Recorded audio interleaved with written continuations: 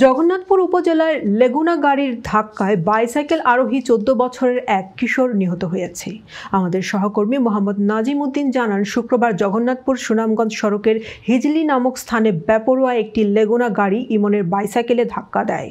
এতে ঘটনাস্থলে ইমন মারা যায়। নিহত কিশোর ইমন আহমদ নাদামপুর গ্রামের জমাত আলীর ছেলে। সে শাহপরান মডেল হাই স্কুলের অষ্টম শ্রেণির ছাত্র। তার মৃত্যুতে গভীর শোক ও দুঃখ প্রকাশ করেছেন স্কুলের শিক্ষক ও শিক্ষার্থীরা।